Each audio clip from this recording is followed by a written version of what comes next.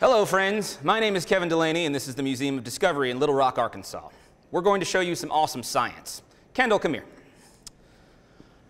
Uh, Kendall, before we begin, I need you to protect yourself. Please put on your goggles. Please put on your science earmuffs. And please put on your science mittens. Now, what we're going to be examining today is something called phases of matter. That is solid, liquid, gas, plasma, and Bose-Einstein condensates. But we're only going to focus on the first three. So, Kendall, you know what a solid is, right? Yeah, this hammer's a solid. I know it's a solid because I can hit it on a table and I can hear that, right? Because the solid molecules that make up this object don't really move too much. They kind of, you know, stay together and they kind of vibrate. So a solid object like this will hold its shape. So we're going to look at a solid that's a little bit unique. Kendall, if I were to take an ice cube and if I were to leave it out, what's going to happen to it? Melt. It's going to melt, right. That's phase change. It goes from a solid to a liquid. We're going to examine phase change in kind of a different way. But before I pick this up, I'm going to put on my gloves. Kendall, you okay? Good. Okay. This is frozen car. This is frozen carbon dioxide or dry ice. Dry ice is not water, it is frozen gas, carbon dioxide. Carbon dioxide gas freezes at a temperature of 109.3 degrees below zero Fahrenheit. That is extremely cold, cold enough to make copper scream.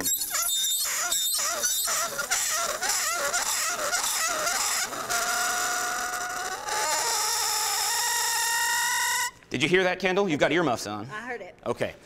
The reason why that happens is because when this warm metal touches this cold, dry ice, it causes this phase change to increase in rate. This phase change is called sublimation. Kendall, can you say that with me? Sublimation. Sublimation is the direct transformation of a solid into a gas, and it is one of the most fascinating and beautiful scientific processes that the human eye can observe. So let's all observe it. That's amazing. Kendall, I'm going to give you a couple of pieces of dry ice. Will you please put them in those vessels that you see? You got your mittens on, right? There you go. Yeah, you just the ones that are close to you. I'll, I'll help out. All right. How about how about this one? That one's kind of there. Uh, Kendall, can you put the lids on these two on that one?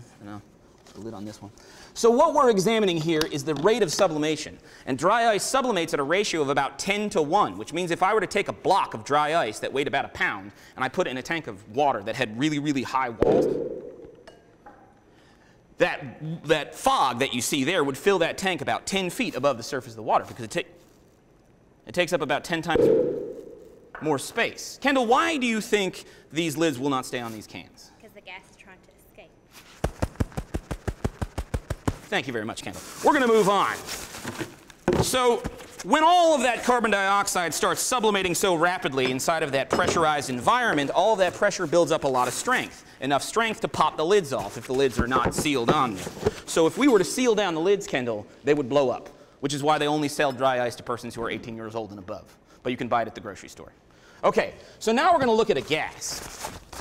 So Kendall, I have this bowl of water here and I'm going to add a little bit of soap. Can you grab some soap over there and pour it in there and stir it around?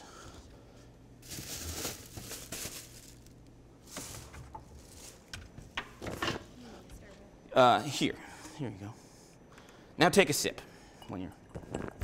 No, I'm just kidding. Don't take a sip. It's soapy. It's gross. Okay. So now, Kendall, what I have here is hydrogen. Do you know what hydrogen is? It's the H in H2O. It's the smallest, lightest, and most abundant element that exists in the atmosphere. Now, um, what I'm going to do is make a couple of bubbles using some of this, this hydrogen that I have and this soapy water that Kendall so brilliantly mixed up. Thank you, Kendall. Now, since hydrogen is such a light gas, it should cause all of these bubbles to fly. There it goes. So, Kendall, should we put hydrogen in all of our balloons to make our balloons fly really, really high? Why not? Would you like me to show you? Okay, I'll show you. Okay, ready? So, since hydrogen is such an abundant element, it's extremely friendly. It's very unique. So, it's very, very reactive, right? Would you like to try that, Kendall? Okay, so what I'm going to ask you to do, well, first of all, how many fingers do you have on your hand? Five right now. Five, okay, we'll try to keep it that way. Okay, so I'm going to make some more bubbles inside of this bowl, and what I'd like you to do is scoop your hand inside the bowl, but when you do, make sure you get your hand all the way underneath the water, right? Okay, you can roll up your sleeve there too, I'll take your mittens.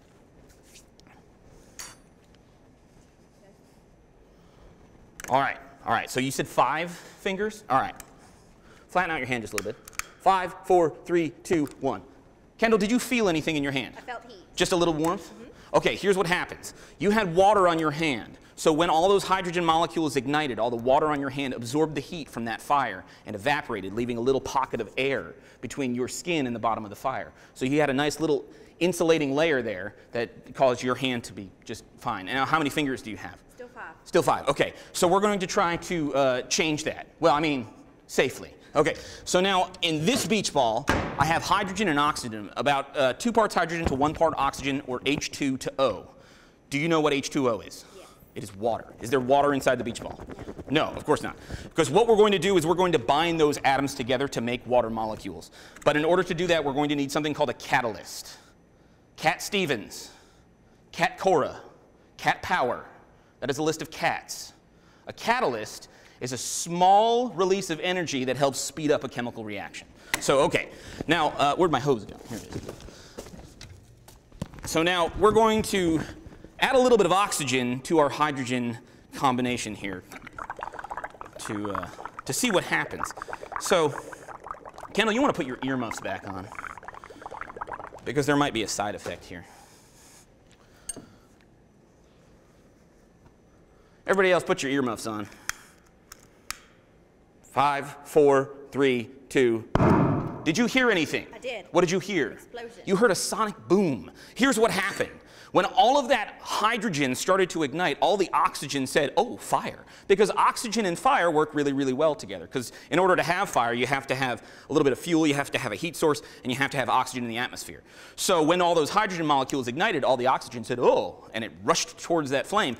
But since hydrogen burns so quickly, all the oxygen molecules continued to expand in a wave we call a concussive wave of energy that was expanding so fast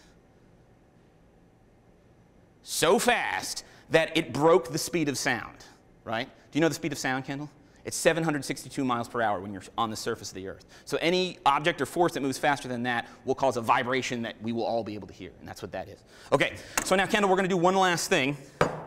I have another liquid. We've seen solids in dry ice. We've seen gases in oxygen and hydrogen. Now we're going to examine a liquid. So water is a liquid, obviously. Water boils at a temperature of 212 degrees Fahrenheit. Now, boiling doesn't mean hot. What boiling means is that once it's reached the highest temperature it can reach, a liquid starts to change. It starts to vibrate crazily and bubble like crazy and, and, and evaporate, right? So not all liquids do that at the same temperature, and nitrogen Nitrogen, which makes up about 80% of the air, in its liquid state actually boils at 321 degrees below zero, which is really, really cold. So, Kendall, I'm going to put my gloves on again, and I'm also going to put on some, some goggles to protect my, my eyes. I mean, I'm wearing glasses, but that's just so I don't bump into stuff. All right, so.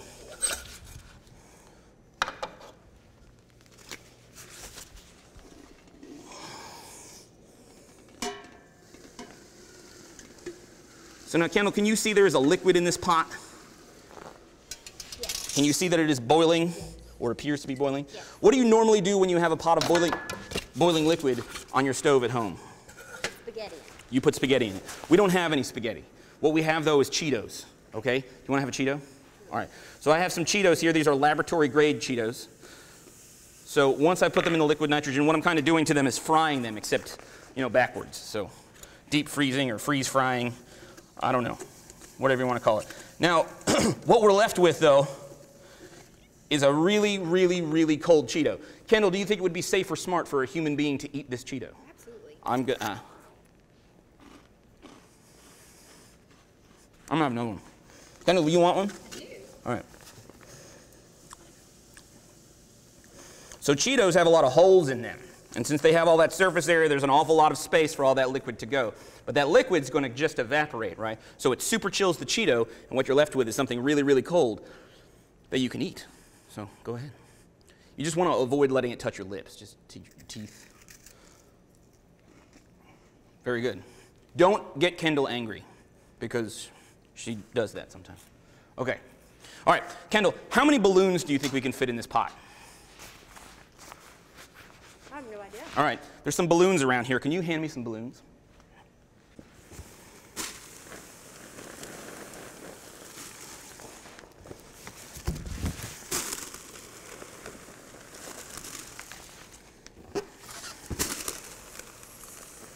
So, if you like going outside on a cold day and you forget your coat, you probably know what it looks like. Kendall, what do you, what do, you do when you forget your coat and it's really, really cold outside? What do you look like if you've, if you've gone outside and you're not wearing a. Yeah, right. You, yeah, you're, going like this. You're making yourself really, really close together.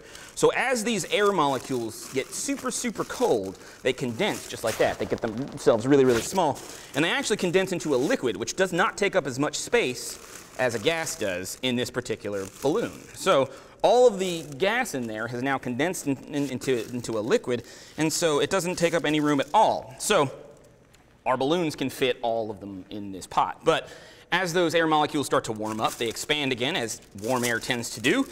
And so what we're left with are balloons that kind of, well, it used to be sort of dead.